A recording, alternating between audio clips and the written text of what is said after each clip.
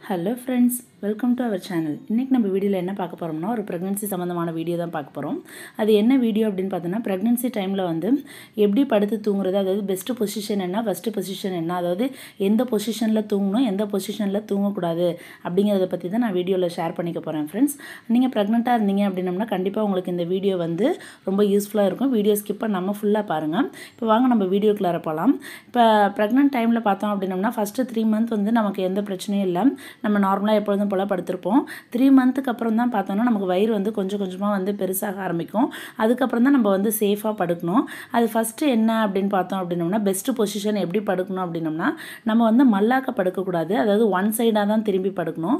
அப்படி படுக்கிறப்பயுமே எப்படி படுக்கணும்னா நம்ம அந்த முழங்கால்களை வந்து மடக்கி அதாவது நேராக அப்படி சைடாக படுக்கிறப்ப காலை ஃபுல்லாக நீட்டாமல் முழங்கால்களை வந்து லைட்டாக மடக்கி அந்த ரெண்டு கால்களுக்கு இடையில் வந்து தலகாணியை வச்சு நம்ம படுக்கிறது வந்து நமக்கு வந்து பெட்டராக இருக்கும். அதான் வந்து ஃபஸ்ட்டு நீங்கள் வந்து பெஸ்ட்டு பொசிஷன் படுக்கணும்னா இப்படி தான் வந்து படுக்கணும்.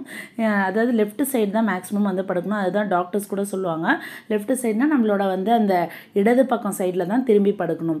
அதுக்கப்புறம் பார்த்தோம் அப்படின்னம்னா ஃபுல்லாக அப்படி படுக்க முடியல அப்படின்னம்னா இன்னொரு மாதிரி எப்படி படுக்கலாம் அப்படின்னம்னா ஹாஃப் சிட்டிங் பொசிஷன்னு சொல்லுவாங்க. அதாவது கரெக்டாக உட்காந்துருக்காம கொஞ்சம் ஹாஃப் சிட்டிங்கில் கொஞ்சம் கட்டில் விட்டு கொஞ்சம் நகர்ந்து உட்காந்து முதுகுக்கு பின்னாடி நம்ம ஒரு பில்லோ வச்சு ஹாஃப் சிட்டிங் பொசிஷனில் வந்து நம்ம படுக்கலாம்.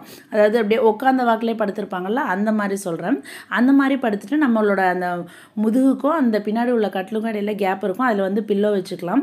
இப்படி படுக்கிறதும் வந்து பெஸ்ட்டு பொசிஷன் தான். இது மாதிரி படுக்கிறதுனால நமக்கு என்னென்னா நெஞ்செரிச்சல் இருந்துச்சு அப்படின்னம்னா அதெல்லாம் ப்ரிவெண்ட் பண்ணும்.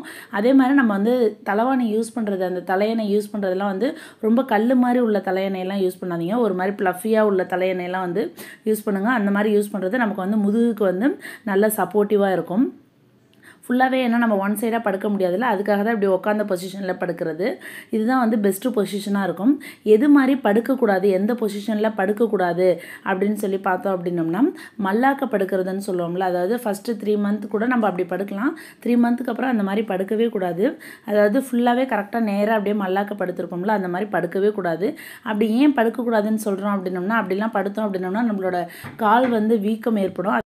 அதே மாதிரி மல்லாக்க படுத்தோம் அப்படின்னோம்னா லோ பிபி அந்த ப்ராப்ளமும் வரும். அதனால் மல்லாக்க படுக்கக்கூடாது இன்னொரு எந்த மாதிரி பொசிஷன் படுக்கக்கூடாதுன்னு பார்த்தோம் அப்படின்னோம்னா குப்புறப்படுத்து தூங்கக்கூடாது.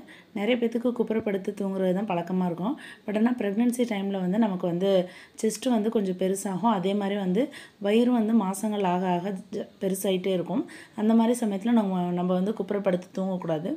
அது வந்து நல்லது கிடையாது. அதனால் குப்புறப்படுக்கிறது அந்த மல்லாக்க படுக்கிறது ரெண்டுமே படுக்காதீங்க. ஒன் சைட் பொசிஷனில் அதாவது ஒ- ஒரு கழிச்சு படுக்கிறதுன்னு சொல்லுவாங்க.